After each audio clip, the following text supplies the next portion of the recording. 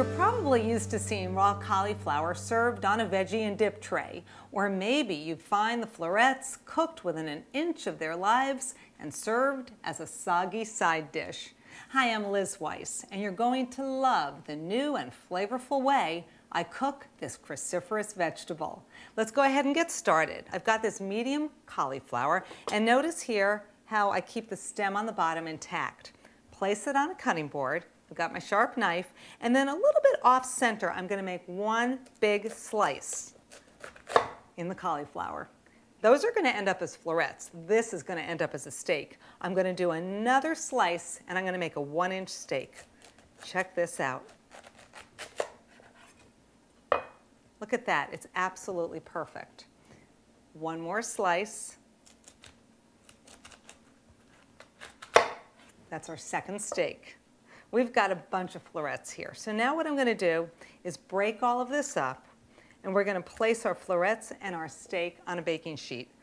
I've lined it with aluminum foil. Here we go.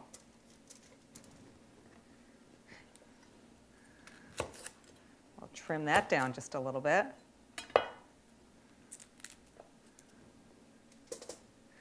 And then all you need to do is take a pastry brush and take about two teaspoons of extra virgin olive oil and then just gently brush that on top. Once the tops are covered with oil, I'm just going to sprinkle with a little bit of kosher salt and black pepper. So a little bit of kosher salt is fine, plenty of pepper, go for that. And now for one of my favorite herbs, we have fresh thyme, one teaspoon. And once you've done that, you're going to place this in an oven that you preheat to 425 degrees and then just bake it for about 18 minutes till the stems start to soften. For my vegetable makeover, I decided why stop at one vegetable? So I am going to top the cauliflower with a bean sauce. Let me show you how to make it. We've got our last teaspoon of olive oil in a skillet over medium-low heat. I'm going to add one garlic clove that I've minced.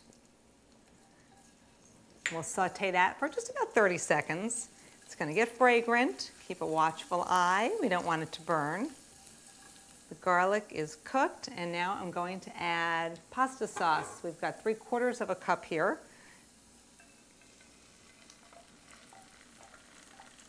Just use your favorite pasta sauce a can of cannellini beans. I have drained and rinsed the beans. And I do that because when you drain and rinse beans, you wash away 40% of the sodium. And one more ingredient, and that is fresh thyme. We topped our cauliflower with a teaspoon. I've got half a teaspoon left.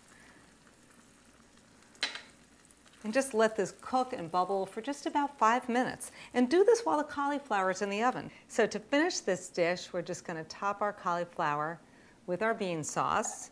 And then, if you like Parmesan cheese, a little grated Parmesan cheese on top, just finishes the dish.